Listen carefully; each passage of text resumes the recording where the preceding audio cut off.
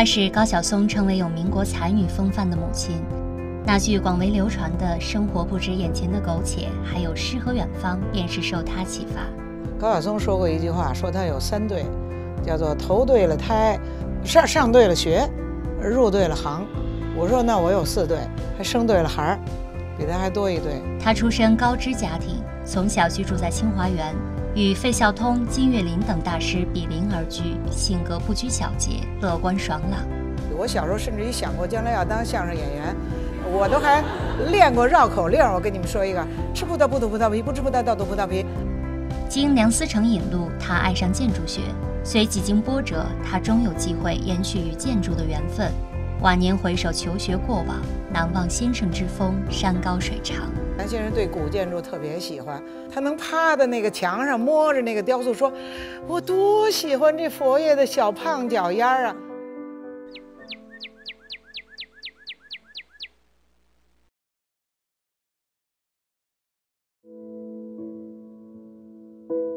与繁华的北京五道口一墙之隔的清华园内，有一片静谧之地。清水红砖墙，灰瓦两坡顶。这片房子的历史可以追溯到清华园复建不久，也就是新中国成立前后。七十二年前，四岁半的张克群随父母入住清华园圣医院二十三号，与费孝通、金岳霖、梁思成、林徽因等教授比邻而居。要不然我怎么写了一本书叫《啊清华我的摇篮》呢？整个就是在这儿摇大的，但是我没在这儿工作。张克群的父母被称作中国力学双子星，父亲张维是两院院士，曾任清华大学副校长；母亲陆世佳是北京航空学院的筹建者之一，舅公施金墨是京城名医。张克群生在德国，长在中国，工作时几经辗转，退休后定居美国。著名音乐人高晓松曾不无自豪地评论自己的母亲张克群：读书画画，考察古建，颇有民国大才女林徽因之风。生活不止眼前的苟且，还有诗和远方。这句高晓松奉为座右铭的话，也源于母亲。我认为这句话是高晓松的翻译。我当初跟他说的是：你要不好好念书，你就上前门卖大碗茶去。意思就是说，要看得远点儿，别看近处。张克群在公众场合鲜有露面，更添几分神秘。近日，他将北京古建筑考察的成果结集出版，许多读者慕名而来。幽默风趣的语言时常逗得在场众人捧腹大笑，也透露出这位年过七旬长者的爽朗乐观。我当时觉得吧，就是科普的书里边，什么天上地下、星星月亮、原子这那，唯独没有建筑这一行，所以我觉得有点可惜。呃，我这人本来就比较口语，我小时候甚至于想过将来要当相声演员，我都还练过绕口令。我跟你们说一个：吃葡萄不吐葡萄皮，不吃葡萄倒吐葡萄皮。这都是我练了很久，准备当相声演员。所以相声演员没当成呢，但是语言还是比较。比较的那个 贫的。小时候的张克群比较淘气，喜欢画画。他形容自己为大器晚成。一九六一年，张克群考入清华大学建筑系。在他的记忆中，梁思成先生是一个快乐的小老头，对古建筑达到了痴迷的地步。也是从那时开始，他心中埋藏了对中国古建筑的喜爱。梁先生对古建筑特别喜欢。那时候没有这么好的这个那个设备，就是幻灯片打在白墙上一个雕塑佛爷了什么的，他能趴在那个墙上摸着那个雕塑，说：“我多喜欢这佛爷的小胖脚丫啊！”事实上，天之骄子科班出身并未带来一帆风顺，在毕业后的很长时间，张克群没有机会从事自己想做的建筑设计工作，而是远赴大庆油田、江汉油田做工人。直到上世纪七十年代，张克群回到北京，开始真正做回建筑设计这一本行。临近退休，张克群才有时间各地寻访、调查古建筑，著书立说。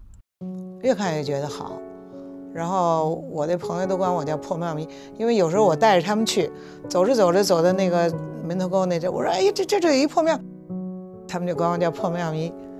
这位破庙迷几乎跑遍了北京城里城外大大小小的村庄。一点一线地描绘出中国文化精髓和古代工匠们的巧夺天工，一笔一画地记录下了皇家、宗教与西洋等不同的建筑风格，分为红墙黄瓦、晨钟暮鼓、八面来风三册，统一辑入《北京古建筑物语》出版。哩哩啦啦应该有十年了，都是照完了相，回家以后把那个 picture 打在电脑上，然后我在这画，所以画画画了好长时间。虽然是建筑系科班出身，但张克群却不用生涩的学术语言写作，而是娓娓道来，其中不乏幽默风趣的点评，亲手绘制插图，生动直观，风格清新自然，让历史悠久的古建增出几分亲近感。智化寺是一个非常有意思的东西，因为它是呃明朝那个明英宗的大太监王振的家庙，由于它是家庙。所以它就不可以用任何的，嗯，有颜色的屋顶。可是他要臭显摆他那个那个头等太监，所以他的瓦全部都是琉璃瓦，但是是黑的。有好多特别好的浮雕以及圆雕，包括他那须弥座。一般的须弥座就是几层什么花边，他那须弥座每个拐角都有一个立士。所谓立士就是古代的保安。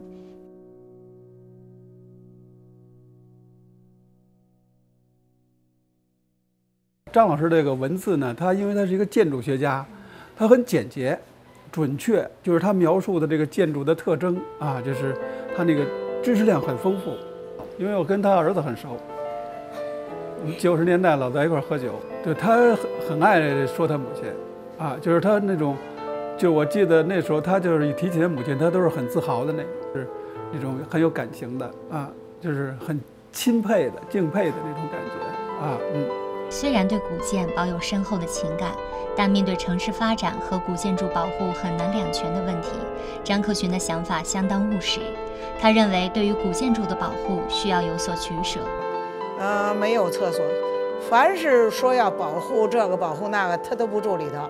住在里头人都说，我们什么时候才能搬到大楼里？所以，它不是为了现代人的生活设计的。所以，我认为四合院儿。的保护只能分片儿。我的老师曾经说过一句很经典的话，他说：“那青铜器好不好？漂亮吧？多文化呀！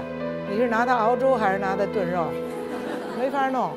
唯一的去处就是博物馆。”